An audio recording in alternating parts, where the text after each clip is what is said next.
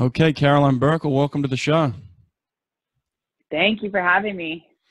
Uh, yeah, thanks. I appreciate you coming on. So uh, I'm looking at your uh, website right now, and it says Olympian, entrepreneur, designer, artist.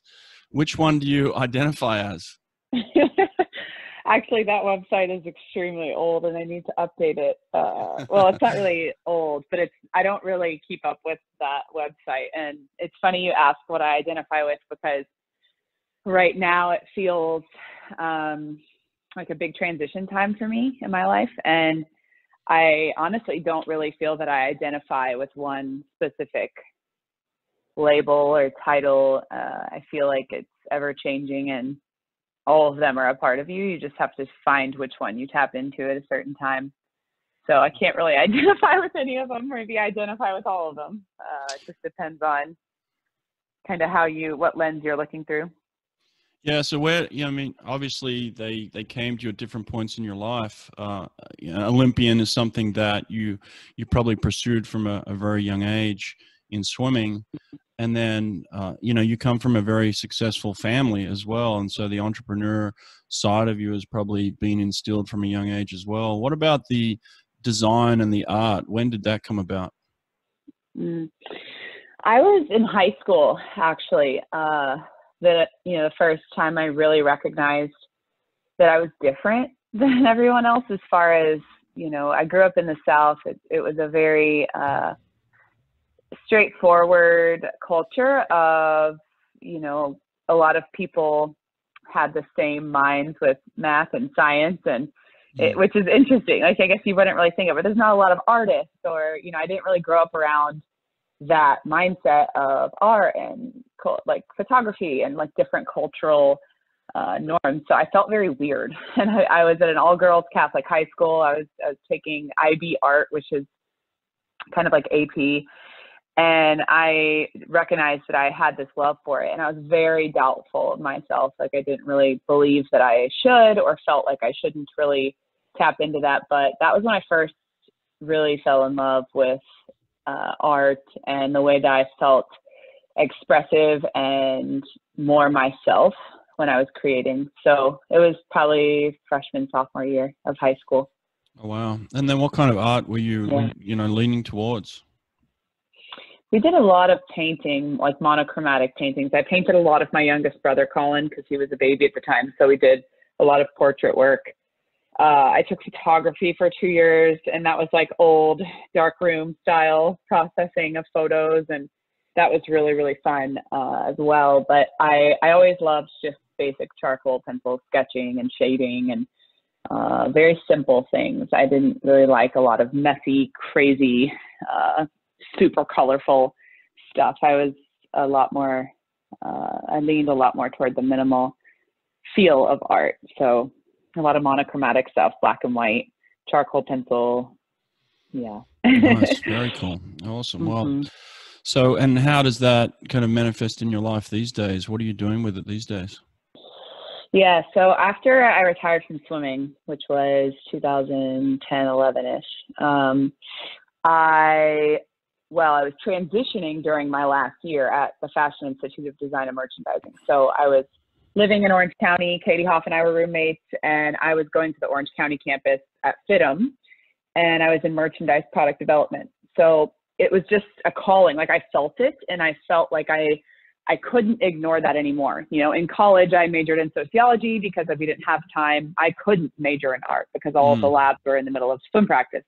So I had to choose, and I chose swimming. So I dropped out of art and photography uh, major in college and I switched to sociology, which was just the most simple way of kind of transitioning my mind into that space. Because uh, psychology labs were also in the middle of swimming, so I didn't go that route. Um, so I I decided to go to FIDM when you know I was kind of retiring from swimming, and that was awesome. And when I finally retired, retired, I transferred to the uh, Los Angeles campus. So I moved in to Beverly Hills, and Haley Pearsall and I lived together for about a year and a half while I finished there. And that's how it all began. Um, I didn't go into it right away. I loved being at school, I loved being at FIDM, but I didn't go into fashion or art or design or product development right away. I kind of actually went into a bit of a depressive cycle there for a while. So I put everything on hold and um, and now I'm getting back into it. It has uh, resurfaced in my life about a year and a half, two years ago. And it started with actually started sketching again when I had a horrible concussion. So during my recovery, I was not really able to work. I couldn't really look at screens. I couldn't think at all, really. I was really struggling with vertigo. I couldn't uh, stand up, move around much. So I would just sit and sketch. And um, that brought it back for me because it was something that I could do with repetition and with uh, tranquil mind that brought me back to myself. And ever since then, I've used it in different ways. And now it's evolving into more of a design uh, pursuit. So my sketches are my inspiration for design. So I'm working towards that again. Oh, that's very is cool. a nutshell version of that. no, that's that's cool. Yeah, I mean, you, you brought up a point there too of like after swimming, you kind of went into this period of time where you, of self discovery, and you, and you didn't really know what to do or who you were in that mm-hmm. sense. And I think we all kind of experienced that as as as athletes too. You know, I, I remember I finished swimming in 2006, and and there was that period of time like what do i do now because everything is just so constant and it's so normal to get up go to practice work hard improve go to a meet compete you know and do the cycle all again and and you're just in yeah. this lifestyle and then and then it ends and it just doesn't seem like there's anybody there to help you carry your bags does there no yeah and you know my my experience with it wasn't even as much of the routine the loss of routine as it was the loss of um, proving my worth, which I'm just now realizing uh, mm. was the entire theme of that. So, um, you know, I, I, had a hard time during my swimming career for several different reasons, and I didn't. I pushed it, a lot of it down, and I pushed it aside uh, just to get through it. And so when I retired, it was like I don't know what I'm worth. Like mine was a very worthiness driven depression. And, and i you know i am always hesitant to use that word because it gets thrown around in our society a lot but it's it's real and it's um, there are levels to it and there's not one size fits all of that. So everyone's going to experience it differently. Uh, my first experience with it was disguised as um, chasing and running uh, so, you know, I chased different goals and I, I had a, such a strict routine, almost more strict than when I was swimming. Uh, so much to a fault of just like total control. Like my whole life was controlled. I controlled everything, the way I ate, like the amount I ate. I didn't eat enough. I was controlling my my workouts. I was pounding my body to the ground with all these different random races or, or random fitness things because I just didn't know. And I, and I didn't know what I was supposed to be worth. I was, I thought I had to prove myself again in this other realm of life. Um, so it was a way of distracting myself and of running away from my real problem, which was that I didn't feel worthy of of existing without this, this thing that, that had driven my life. Um, and you know just as a woman to be honest in that phase of life you just your worthiness to be loved and your worthiness to grow past this thing that you that you thought was your relation you know that has been your relationship forever. Um, it really threw me for a loop because i had no clue how to find that again. So that was my first experience of it. And then when you finally stop to uh, you know, I mean, mine was a forced stop. My body literally broke. My my heel broke not once but twice, and I had the concussion. And you know, I was literally sitting still for almost three years, two and a half, three years. And it was the first time in my life that I was like faced with all of the things that I was running from. Um, and you have to sit still to finally realize that and to figure it out because I think it's a very we're a doing culture. We we do do do. We we have to continue to do sometimes, uh, and we run away from feeling. And I think it's just a, a, fine balance between the two. You have to have the best of both in order to perform on any level. Um, so that has been, you know, and that's a long, long story. All that's a very long story, but you know, in a nutshell version, again, that has been my experience with it. Is is that it was first disguised as running and as proving myself and as um, going through that experience before I actually healed the experience, before it actually hit me, before I actually saw it for what it was. Um, which How'd you get to that point? Literally, it, literally a year ago, two years ago. Was uh, that with friends or yeah. family or therapy or yoga or, you know, what was it that got you to that point?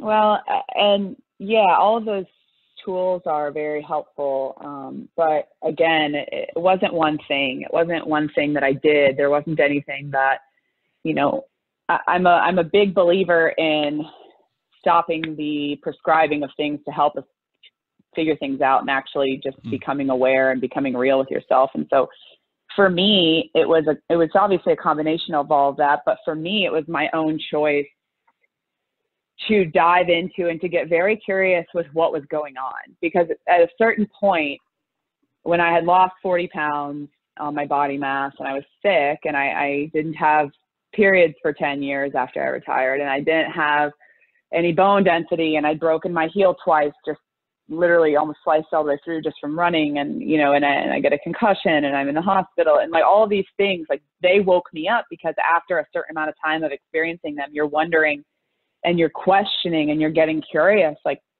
why? And I think that there are such beautiful things that we do like yoga and uh, therapy. And yes, I do both of those. I'm still I'm in therapy, you know, once a week, and I have been for a long time. Um, mm. But the the real way is curiosity and yourself. And if you're not curious and questioning your thoughts and, and beliefs and your feelings on a regular basis, and trusting that you can get curious with them and not um, judge them you know, like just becoming curious with them was mm. what changed my life because I finally said, stop the running. Like, what is going on? What you don't need to judge yourself. You don't need to analyze yourself. There's nothing wrong with you, but like, what is really wrong? What is really going on? Because your body's teaching you something. You know, like it's it's teaching you that you are running and that you are broken right now literally. Like you know you've broken bones. So so what is what is that telling you? Our bodies always tell us something. Um, so that that's my best answer for that. I think that ways to do that of course are meditation and yoga and therapy and all of that. But at the end of the day it's your decision. No one's going to do it for you. And mm. you have to get super curious with yourself and rely on people for support but knowing that you're responsible for changing your state in the way, best way that works for you. Um, yeah. So That's I think it's awesome. a, it's a nice blend of it all. Yeah. Yeah, well, this is part of the reason why I wanted to talk with you. I, I, don't know you that well. I just know from the outside looking in, and I see some things, and it, it to me, it looked like uh, a young woman who has had a lot of success in swimming and been and been very successful, and then gone on to really go on this path of discovery. And I and I kind of wanted to dig into that a little bit. So I'm glad you were able to share with us there as well. So you know just looking yeah. back on your on your swimming career do you look back on it with any um, you know regrets or i mean obviously when i look at it on paper i'm like wow what a career you know it was you, you swam at the university of florida you, you swam for the us at the olympic games and won medals you broke ncaa records all the stuff that every swimmer would dream of doing how was that experience for you yeah it's funny you say that actually because I feel in a lot of ways that my my time swimming was amazing for sure. But do I think I could have done better? Yes. Um, do I think I could have performed better? Yes. Do I think I, I had more in the tank? Yes. Do I think that a lot of days uh, I question why I didn't? Yes. So I think it's it's no it's not a regret thing, but it's knowing that no matter what in my life, what whether it's swimming or you know fashion or design or sketching or family or friends or relationships, like looking back, hindsight is always I I know that I can be better. And so as I grow and as I get older and realize, and it's such a cliche saying, like as I get older, but it's true, like growth happens and, you know, in our concept of time, quote unquote, but every year I recognize that I'm not going to change wanting to get better. Like I don't look at things and say, "Oh wow, what a, that that was just yep, that's it." Like I'm very proud. I'm I'm very proud of myself and I'm very happy, but you can also at the same time be striving for more and looking at the areas that you could do better and applying that to your life now.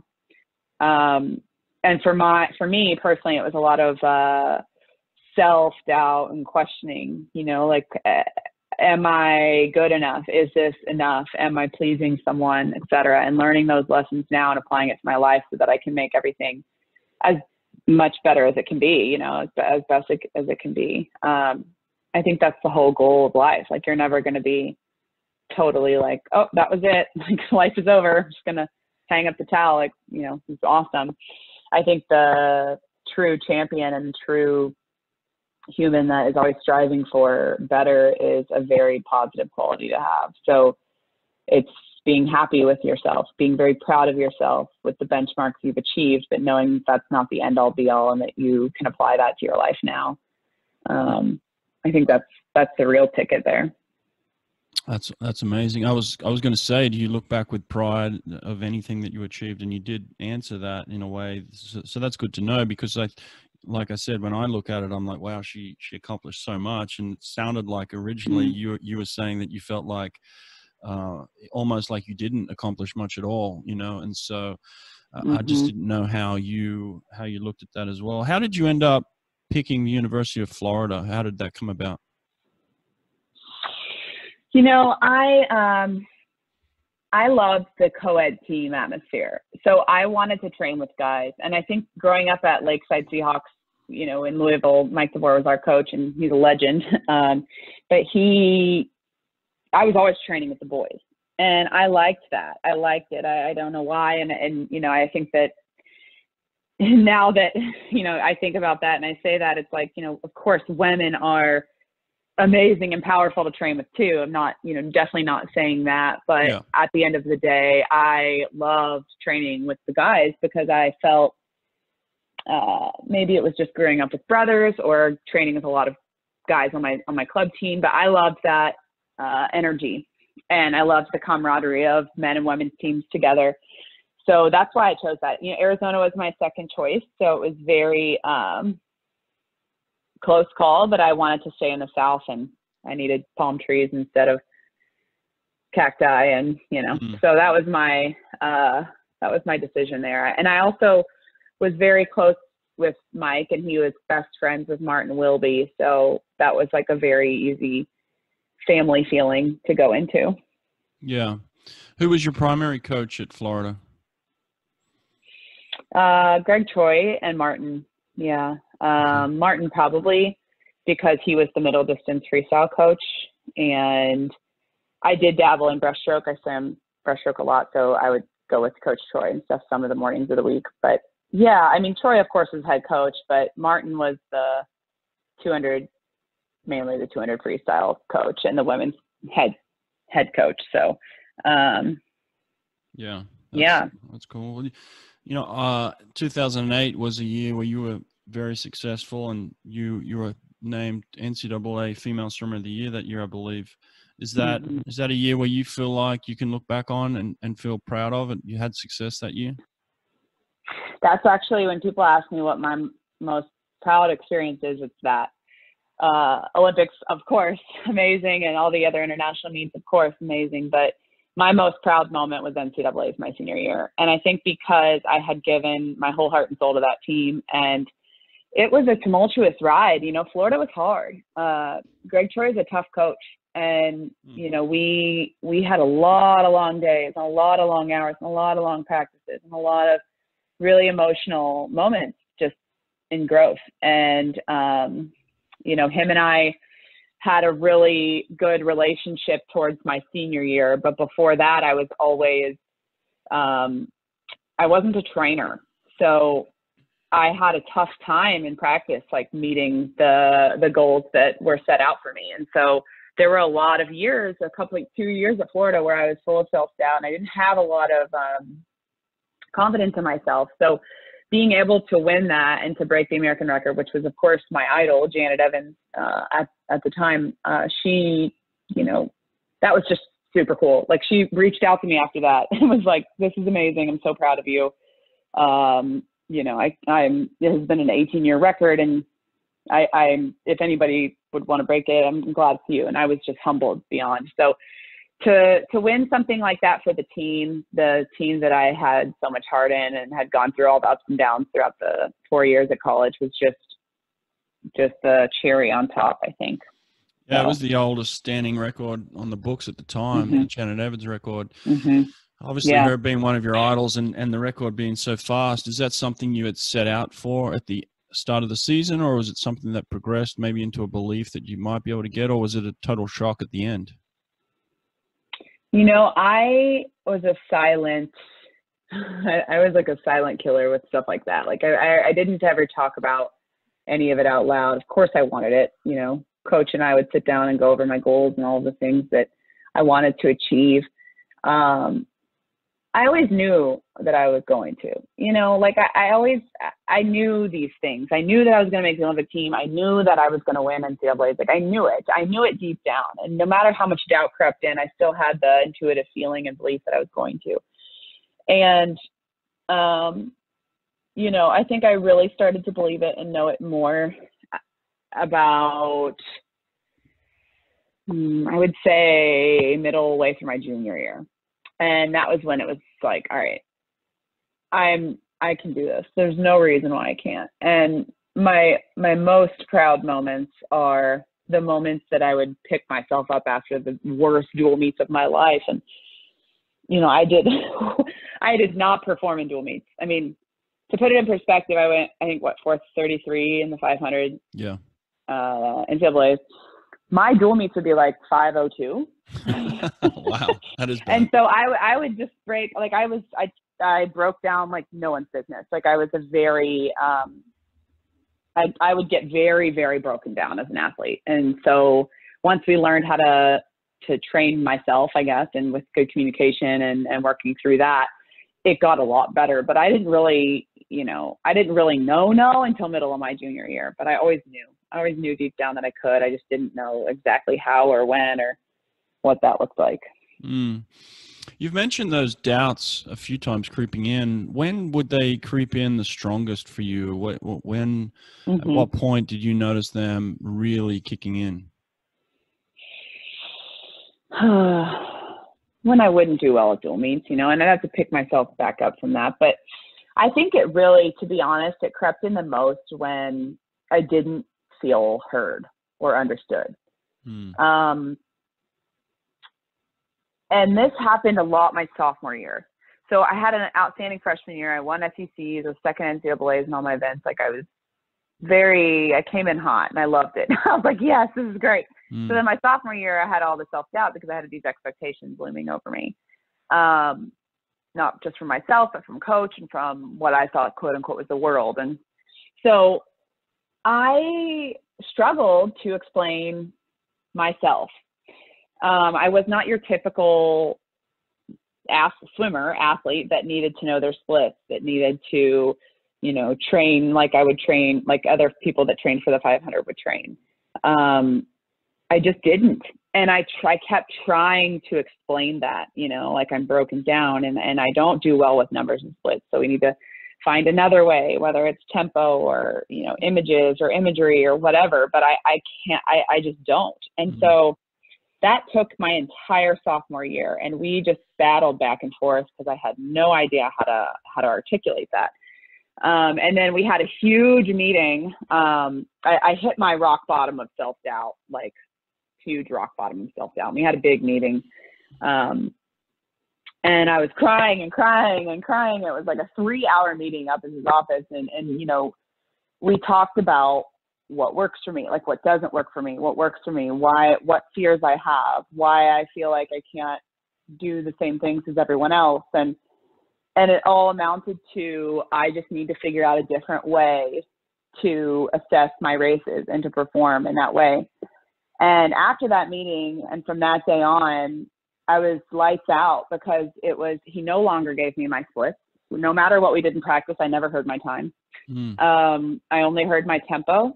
And there would be some days when I would walk in and he would just look at me and he would look at my eyes or something and big bags or exhaustion or he could just feel it. And this was like, uh, you know, after time. And uh, he would just say, I just want you to get in and do a thousand leaps and get out. Mm. I'm like, okay, you know, and it wasn't liked. I mean, my, my teammates didn't like it. Um, it wasn't fun for me, you know, to feel like I was doing less than others, but it, it worked. And it worked not only because I was heard, but it worked because I rested myself more from the things that were not working for me. And it doesn't mean it doesn't work for everyone else, but I needed to communicate that and also accept that I can hear all those things, but I have to figure out what works for me. And that's to listen to my tempo and to have images per, you know, race pace and all this. Like I, I just thought differently than others. Um, so that was when self-doubt was the, the highest when i didn't feel heard and when i didn't uh, or, or communicate with my coach like what i felt like i needed or what i felt like could work in a way that was still hearing him and still hearing you know what i what was expected of me as well so um yeah that was you know boils down to, to lack of communication is when i doubted myself the most Okay, cool. So then, obviously, the the flip side of that is when you are heard, and then you, you're not you're not getting the things that you don't need, and and you're getting the things that you need. Then obviously, you get to this situation where you're very very confident, right? Yeah, and you you know how to bounce back faster. You know the feedback loop is tighter. You know how to bounce back faster. So it's like something's not good, quickly revert to okay. Well, your tempo is 1.4 it's supposed to be 1.2, you know, so it's like, okay, so I get it. And so the mm. feedback loop was tighter and more specific to what I needed versus, okay, you're 29.6, you're supposed to be 24 or 26.2, or, you know, so I'm like, well, I don't know. That just doesn't work for me. Like, yeah. I, I don't know how to gauge that for me. And yeah. so, um, you know, that feedback loop gets tighter. So, hmm. uh, that's, that's how I think that, that changed the most. Cool. What about your experience in swimming in an Olympic final. What was that like for you? Uh, really awesome. Um, I don't remember it to be honest. You know, you're in flow. You're like in that state of just it, the crowds and yeah, I remember like specific parts of it, but the actual race itself, the actual feeling of performing, I barely remember what I felt like in that race. And um, you know, I, I still don't even consider it one of my best races. like I know I could have gone faster, but the camaraderie and being a part of a team and representing your country, um, you know, in China it was interesting because finals were in the morning, so it was definitely a different vibe. Uh, but it was really, really cool to experience that and to be in front of the world on that stage and trust yourself that you belong there um, with your teammates. So it's a special thing being on the relay as well. I think you know, my brother got to represent himself and the country individually, but it it was cool to be a part of a team too. Um, but I can imagine that individual individual race is pretty special. Yeah, that's pretty crazy. You just mentioned that. You know, your brother swam at the Olympics as well. That's that's a pretty mm-hmm. outstanding family right there to have two two kids. um, what what do you take yeah. from, from, your parents? How did they how did they set that up for you guys so you guys could both be very successful at the highest level? We get that question a lot. I don't really know. You know, I think our my parents were very supportive. Um, we just watched them and to be honest they worked hard like they're entrepreneurs we grew up going to work with them kind of thing like that was just our life and so i think we saw it from a young age and also they were great at asking questions um, you know i don't really know they they were not hands on like there was not a crazy, like go to every practice. Like they didn't come to any practices. They never came to one single swim practice. Like they just picked, dropped us off, picked us up. Like they they were so supportive in that way. And you know, of course, we have our challenges with our parents, like especially as teenagers and things like that. But for the most part, I think Clark and I push each other. Um, I think that they were both athletes, my parents were, but at the end of the day, Clark and I push each other. He's a polar opposite than I am, uh, exact opposite. He likes times and splits. He knew all of my times and splits. He knew all of my everything, uh, my rankings, where I stood, what I needed to be, what lane I was in. Like he knew all of that. And he was a very serious swimmer. Like he would prepare for his races like 20 minutes before behind the blocks. Like he was just very into it. I, on the other hand, would miss my races because I was laughing over in the warm down pool. So I don't, you know, we, we balance each other out that way. And I think it, we both frustrated the hell out of each other at a lot of times. But at the end of the day, we learned about what the strengths were. We learned the strengths from each other and could apply them to our own races. Like, so he, he focused me and I think I gave him the ability to smile, you know, in that way so that he could, um, perform with both. But he was a really good athlete. Like Clark's just an athlete. he can take months off and come back and still kick everybody's butt. So it's like um, he's he's a great athlete. Um, yeah. But yeah, we I think we ended up just pushing each other well. You know, um, I think that was the main thing there. Well, it's cool that you guys seem like you have a very close relationship too, and very supportive of each other. And he sounds like he's super mm-hmm. proud of you. If he if he knew what lane you're in and things like that, then, you know, that's that's a caring brother. I don't think I my kids. Uh, yeah, uh, not so much like that.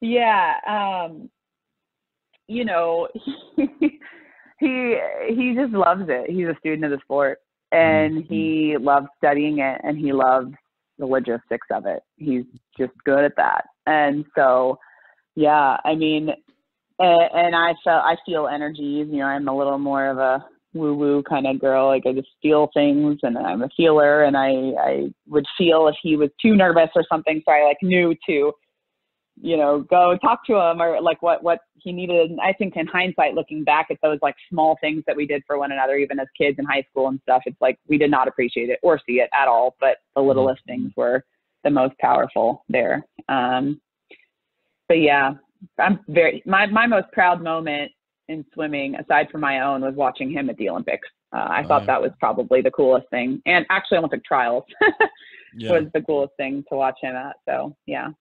Yeah, absolutely. So, talk to us about Rise Athletes. How did that come about, and and what is it all about? Yeah, so Rise started um, about 2014. I was finishing grad school in Tennessee for sports psychology. Uh, I was lost. I didn't know what to do. you know, I, I, had no idea. Um, mm. And I knew that I wanted to go into the field, but I knew that I also wanted to do art. So I was like, I don't know what to do. I have these two degrees. Um, so Rebecca one day was like, you know, I started this mentoring platform where I'm working with athletes online and Rebecca on FaceTime Soni. and like working. Yes, sorry, Rebecca Soni. And we had been friends all through our careers as well. So, um, you know, it was like a very easy transition to talk to one another about. So, you know, she said, Hey, I have these athletes that I'm working with. Would you be interested in working with a few? Uh, parents have been contacting me. And I'm like, sure, why not? Like, I don't know what I'm doing. And so then I started working with this young girl who I still work with to this day. Um, and she was fantastic and I fell in love with it. I fell in love with the fact that I could do it from anywhere. It's on the computer. Um, but I could work with, with them on their mindset and on their confidence. Next thing we know, uh, we've developed a whole curriculum. She had a lot of this work already done. She was really excited about it. So we, we tweaked some stuff, developed this curriculum, started bringing people on. Uh, Kristy Kowal was our first hired mentor, and we've trained them on, and, and they, you know, do all of the necessary steps to become a mentor, which is now a little more intricate than it was then. Um, and, you know, start recruiting athletes to work with and bringing athletes on board to be part of our team. So it just started grassroots. It's still a very grassroots business. Um, personal connections and uh, you know that interpersonal relationship is so important to us. Um, so yeah, we've been almost five years now, and it's been a really cool experience um, to create it. And so excited to see where it goes now. We have about 18 Olympians and you know 50ish 60 athletes that everybody works with individually. So um, yeah it's cool. So people that want nice, to reach out and, and and be part of this you know maybe some some young kids some athletes uh, how do they find you? Yeah so a lot of people find us on instagram or facebook. Um, we also just are very big on word of mouth so we do in-person workshops, which with teams, which then can they can choose if they want to continue to work individually um, with the Olympians, but usually the Olympians do their own outreach. That's been our goal from day one. We don't want to be a mill where we're just bringing people in through the internet. Um, this is a personal relationship. So they reach out to people, they get in touch with people, and word of mouth spreads. And you know, before you know it, you know, we have one mentor that has like 15 athletes, uh, which is a lot. You know, you're working with psych- in psychology realm with 15 people every week. So um, it's it's a really cool experience for them, so that they can give back to the community that they that raised them. You know, with the skill sets that they have that they want to use somehow. Um, and then at the same time, the athlete. I mean, if I was 15 years old, I would have killed to have had a Olympian to talk to every week. You know, so uh, just it, it's a really cool experience, and all of the teachings are based around sports psychology, which are recognized degrees. So we created curriculum to you know the Olympians have to train and pass the course and, and do the work. So oh, cool. blended with their experience, they also have uh, you know, a rite of passage to come through so that we are all on the same page, on the same team, teaching distant same things catered to each person. So, um, nice. Yeah, yeah. What are, what are some of the specific teaching modules or things that you guys work on with with your athletes? So we do a lot of obstacle work. So a lot of um, and, and whoa, anxiety, performance anxiety, because a lot mm-hmm. of them come in with the preference being anxious, that needs and performance. Mm-hmm. So we do we do uh, anxiety management, we do personal identity, relationship, we do team camaraderie. Um, I mean, there's like 20 topics, but just for sake of, I guess, not boring everybody, it's it's mainly uh, based around overcoming obstacles. Mm-hmm um, you know, creating a better self-talk routine, a better uh, performance routine so that they can understand, you know, visualization skills and imagery skills and pre-performance anxiety and how to control and harness all of that, you know, um, recovery, uh, life balance.